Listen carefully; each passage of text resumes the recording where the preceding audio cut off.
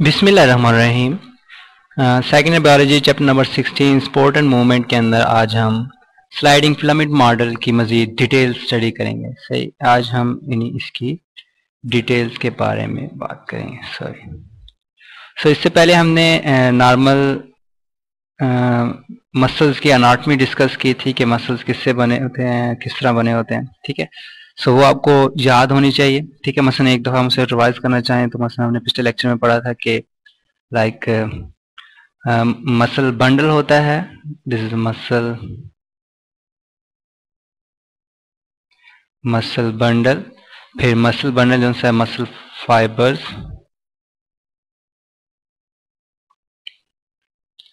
Fibre से बना होता है। ठीक है मसल फाइबर्स फिर मायोफिब्रिल से बने होते हैं like here is myofibrils. Myofibrils के अंदर मायोफिलामेंट्स होते हैं, सही तो मुख्तलिफ़ स्टेजेस होते हैं। मसल्स सबसे पहले मसल आता है सिंगल मसल मसल्स के अंदर मसल बंडल्स मसल बंडल्स के अंदर मसल फाइबर्स मसल फाइबर्स के अंदर मायोफिब्रिल्स मायोफिब्रिल्स के अंदर मायोफिलामेंट्स। फिर मायोफिलामेंट्स फिलामेंट्स की हमने दो टाइप्स की थी। वन वाज थिक फिलामेंट ठीक है, और एक था थिन फिलामेंट सो ये हम सारा पिछले लेक्चर के अंदर कवर कर चुके हैं। सो so, आज हम डायरेक्टली जंप करेंगे स्लाइडिंग फिलामेंट मॉडल के ऊपर। सो स्लाइडिंग फिलामेंट मॉडल जो सा था वो नाइनटीन uh, 1954 के अंदर। 1954 दो भाई थे एक, एक H Huxley Huxley and A F Huxley ठीक है, इन दोनों ने अपने को वर्कर्स के साथ, ठीक है प्लस इनके साथ को वर्कर्स जो लैब में काम करी थी टीम उन्होंने मिलके एक मॉडल या एक थ्योरी पेश की। उन्होंने कहा कि जो थिक और थिन फिलामेंट होते हैं, ठीक है, यानी अगर हम ये कहें कि जी, जो थिक फिलामेंट होते हैं थिक फिलामेंट ये वैसे हम पिछले लेक्चर के अंदर इंट्रोड्यूस करवा चुके थे आपको। Thick filament slides thin filament over ठीक है? कि जो थिक फिलामेंट हैं ये थिन फिलामेंट्स को स्लाइड ओवर करते हैं ठीक है? नहीं अपने ऊपर स्लाइड करवाते हैं लाइक अगर नीचे एग्जांपल देखें हम। सो so, ये अब थिन फिलामेंट है एक्टिन के और ये मायोसिन का थिक फिलामेंट है बीच में एम लाइन है और ये जी लाइन या जी डिस्क कहा जाता है सो so, जब ये मसल कॉन्ट्रैक्ट होता है क्या करते हैं कि जो थिक फिलामेंट है ये इसको अपनी तरफ़ स्लाइड करवाता है like they slide it towards its centre ठीक है नहीं खींच के। और इसके अंदर दो चीज़ें रिक्वायर्ड होती हैं, यानी टू थिंग्स आर रिक्वायर्ड सबसे पहले कैल्शियम आइन चाहिए होता है, ठीक है? कैल्शियम आइन किस लिए चाहिए होगा? टू बाइंड ठीक है कैल्शियम आइन टू बाइंड के इन दोनों के द्वारा से बाइंडिंग होगी, उसके लिए कैल्शियम आइन चाहिए होगा। एंड सेकेंड थिंग जो सी चाहिए होगी दैट इज़ एटीपी ठीक है? एटीपी क्यों चाहिए होगी? ज़ाहिर बात है एटीपी क्या प्रोवाइड करेगा? एनर्जी सो इन दोनों के बगैर ये काम नहीं हो सकेगा so two things are required for normal muscle contraction एक तो कैल्शियम आइन चाहिए होगा और दूसरा एटीपी के। एटीपी के बगैर ये कॉन्ट्रैक्ट यानी इनको एनर्जी नहीं मिलेगी और ये कॉन्ट्रैक्ट नहीं कर पाएँगे। सही सो एनर्जी यहाँ पे आप लिख सकते हैं बेशक एनर्जी फॉर कॉन्ट्रैक्शन ठीक है? कॉन्ट्रैक्शन के लिए हमें एटीपी की शक्ल में एनर्जी चाहिए होगी। बाज का क्या होता है? ठीक है अच्छा इसमें एक चीज़ मजीद इसमें ऐड कर लें आप कि एटीपी कॉन्ट्रैक्शन के लिए भी रिक्वायर्ड होते हैं and also for relaxation and also for relaxation के एक दफ़ा मसल कॉन्ट्रैक्ट हो गए हैं तो उसको बाद, दोबारा उसको जो रिलैक्स करेगा, उसके लिए भी एटीपी चाहिए। ठीक है? सो बाज का डेड कंडीशंस के अंदर एक, एक हम एक कंडीशन पढ़ते हैं रिगर मोर्टिस के नाम से। रिगर मोर्टिस रिगर मोर्टिस में क्या होता है? कि बाज का जो पर्सन है वो उसकी डेथ होती है किसी भी रीजन की वजह से। और कोई मसल्स का लाइक कॉन्ट्रैक्ट रहता है ठीक है? Muscles are contract they will keep on contract यानी वो उधर, वो सुकड़ा ही रहता है मसल, ठीक है? उसकी वजह क्या होती है कि एक दफ़ा कॉन्ट्रैक्ट हो गया, उसको रिलैक्सेशन के लिए भी एटीपी चाहिए तो डेथ के बाद एटीपीज लेवल लो हो जाते हैं, ठीक है? यानी अगर मैं इसको डिफाइन करूँ अगर मोटिस क्या है? Condition condition in which ATP declines ठीक है? कि एटीपी डिक्लाइन हो जाएगा इन डेथ पर्सन ठीक है कि जो डेड बॉडीज होती हैं उनके अंदर एटीपीज uh, कम हो जाएँगे। उसकी वजह से क्या होगा? Muscles can not relax can not relax so उसकी वजह से मसल्स अपनी नॉर्मल वापस कह लें रिलैक्सेशन फ़ेज़ में नहीं आएगा क्योंकि रिलैक्सेशन के लिए भी एटीपी चाहिए जिसे रिगर मोर्टिस कहते हैं ठीक है? ये अब डेड बॉडीज के अंदर या डेथ डेथ पर्सन के अंदर ये कह लें कि प्रोसेस होता है। सो so, ये तो रिगर मोर्टिस हो गया जो कि कंडीशन है आफ्टर डेथ के डेथ के बाद बात का बाज का क्या होता है कि एटीपीज लेवल डिक्लाइन कर जाते हैं मसल्स के अंदर और मसल्स जो उनसे वो रिलैक्स नहीं कर पाते जिसकी वजह से जो भी पोजीशन होगी मसल्स की वो उसी पोजीशन में रहेंगे। ठीक है? सो so, ये आप ऑब्ज़र्व भी कर सकते हैं लाइक किसी अगर डेड बॉडी का मुँह खुला रह जाता है सो उसे क्लोज और अक्सर आपने देखा होगा जब कोई डेथ होती है तो हम उसकी आँखें बंद कर देते हैं। क्यों? क्योंकि उस टाइम एटीपीज होते हैं ठीक है? खुदा ना खास्ता अगर आँखें ना बंद की जाए तो बाद में वो बंद नहीं हो पाती।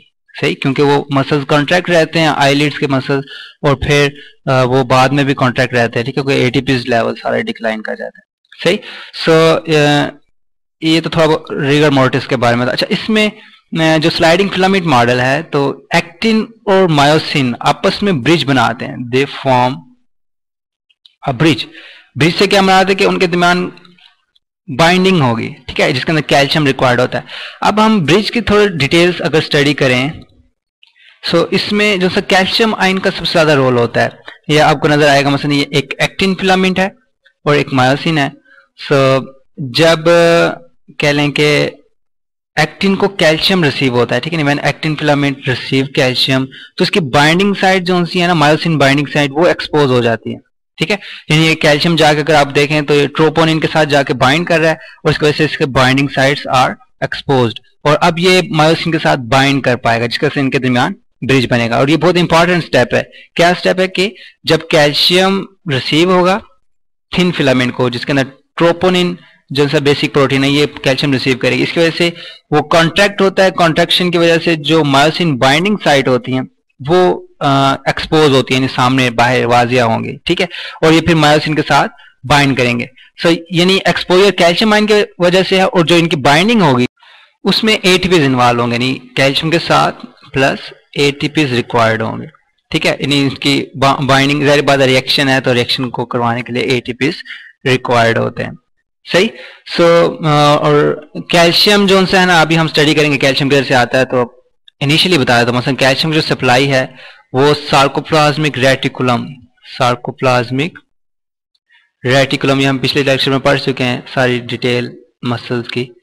रेटिकुलम सप्लाई करती है जबकि एटीपीज जो है ये कौन सप्लाई करेगा? माइटोकॉन्ड्रिया हमेशा की तरह कि जो power house of the cell है सो एटीपी सॉरी कैल्शियम जो है सार्कोप्लाज्मिक रेटिकुलम से रिसीव होंगे। और एटीपीज माइटोकॉन्ड्रिया और ये दोनों बहुत नेसेसरी हैं इनकी ब्रिजेस फॉर्मेशन के अंदर ठीक है? ये ब्रिज फॉर्मेशन हो रही है या बॉन्डिंग भी कह सकते हैं आपसे ब्रिज फॉर्मेशन में एटीपीज और कैल्शियम दोनों बहुत नेसेसरी है। सो so, एक दफ़ा जब इनका कनेक्शन बन जाता है उसके बाद ये बाइंड करेंगे मायोसिन के साथ और मायोसिन एटीपीज की मदद से कॉन्टैक्ट करवाएगा।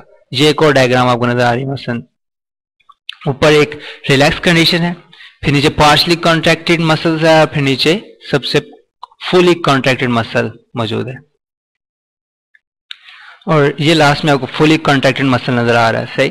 अच्छा इसमें अगर आप एक चीज़ देखें तो ये all in none response show कर रहा है, ठीक है? ऑल आर नन रिस्पॉन्स यहाँ, अगर हम इसमें देखें, तीन थिक फिलामेंट्स हैं, यानी वन टू थ्री सो ये तीनों पार्टिसिपेट करते हैं या फिर कोई भी पार्टिसिपेट नहीं करेगा? सही? ये नहीं कि ऊपर वाला थिक फिलामेंट पार्टिसिपेट करेगा नीचे वाला नहीं करेगा। सो so, जितने भी कह लें कि एक सेल के अंदर मसल सेल के अंदर जितने भी फिलामेंट्स होंगे वो सारे के सारे एट अ टाइम परफॉर्म करेंगे। ठीक है? या तो कोई नहीं परफॉर्म करेगा कॉन्ट्रेक्शन या फिर सारे के सारे इन्वॉल्व होंगे। सो so, ये ऑल आर नन रिस्पॉन्स में भी आता है। ठीक है? यहाँ पे आप देख सकते हैं all or none response okay okay, फिर जो डिग्री ऑफ़ कॉन्ट्रेक्शन होती है बाज का ये भी सोचा जाता है कि जी आप बाज का मसल्स को फुल मूव करवाते हो बाज दफ़ा हाफ़ या बाज पार्शली मूव करवाते हैं। सो डिग्री ऑफ़ कॉन्ट्रेक्शन जो है डिग्री ऑफ़ कॉन्ट्रेक्शन वो डिपेंड करता है कि कितने सेल्स पार्टिसिपेट कर रहे हैं। ठीक है depends upon participation of cells participation of cells के कितने सेल्स पर पार्टिसिपेट करेंगे, उसके लिहाज से डिग्री ऑफ़ कॉन्ट्रेक्शन आएगी मसल्स के अंदर। अब लास्ट में हम देखते हैं थोड़ी सी अनाटमी मसल सेल्स के किस तरह ब्रिज फॉर्मेशन तो हमने स्टडी कर लिया, कि ये कैल्शियम किस तरह रिसीव होता है। इसमें एक मैकेनिज्म है, होता है क्या है कि मसल ब्रेन जो है like it is a brain क्योंकि अब जो स्केलेटल मसल्स हैं, ये वॉलेंट्री इन कंट्रोल होते हैं, ठीक है? सो ब्रेन जो है, वो मैसेज भेजता है इट सेंड मैसेज और बीच में मोटर न्यूरॉन्स आएँगे लाइक दिस ये बीच में मोटर न्यूरॉन्स है जो कि मैसेज ब्रेन से दूर लेके जाते हैं। सही। ब्रेन पहला पार्ट सेकंड पार्ट जो है वो motor neuron motor neuron brain से मैसेज मसल्स की तरफ़ लेके जाएँगे। फिर इनका एक कह लें कि कनेक्शन होता है मसल्स के साथ। ठीक है, इस कनेक्शन को कहा जाता है न्यूरो मस्कुलर जंक्शन सही? कि मैसेज जो सा वो ट्रैवल करेगा मोटर न्यूरॉन्स के ज़रिए और थर्ड स्टेज से वो न्यूरोमस्कुलर जंक्शन जिसके साथ ये मसल्स और न्यूरॉन्स आपस में लिंक होते हैं, वहाँ पे आएँगे। और जब ये न्यूरोमस्कुलर जंक्शन के ऊपर मैसेज आएगा तो इसका जो सार्कोलीमा है, ये बाहर वाली जो कह लें कि सेल मेम्ब्रेन है, वो इन्वेजिनेट होगी, उसके अंदर छोटे छोटे ये कह लें कि टिब्यूल्स बनेंगे, ये आपको नज़र आ रही है येलो कलर की टिब्यूल्स सही? और इन टिब्यूल्स को टी टिब्यूल्स कहा जाता है, या ट्रांसफर्स टिब्यूल ठीक है? तो यानी ब्रेन से मैसेज आएगा मोटर न्यूरॉन्स के पास मोटर न्यूरॉन्स मैसेज कंडक्ट करके न्यूरोमस्कुलर जंक्शन तक लेके आएँगे और वहाँ पे फिर ये जो सार्कोलीमा है या सार्कोप्लाज्मिक मेम्ब्रेन है, वो इन्वेजिनेट होगी और टी टिब्यूल्स बनाएगी। और ये टी टिब्यूल्स जो हैं, वो क्लोजली लिंक होते हैं सार्कोप्लाज्मिक रेटिकुलम के साथ। ठीक है? ये आपको डार्क कलर के अंदर सार्कोप्लाज्मिक रेटिकुलम नज़र आ रहा है। सही? सो टी टिब्यूल्स अंदर इन्वेजिनेट हुई इसका लिंक था सार्कोप्लाज्मिक रेटिकुलम के पास। रेटिकुलम के अंदर कैल्शियम स्टोर्ड होता है ठीक है? फिर वो कैल्शियम रिलीज़ करेगा इन मायोफिब्रिल्स के अंदर सही? यानी जो ही मैसेज रिसीव होगा आफ्टर मैसेज रिसीविंग मैसेज जो ही रिसीव होगा किधर रिसीव होगा? न्यूरोमस्कुलर जंक्शन के पास सही? सो so, उसके रिज़ल्ट के अंदर कैल्शियम रिलीज़ होगा।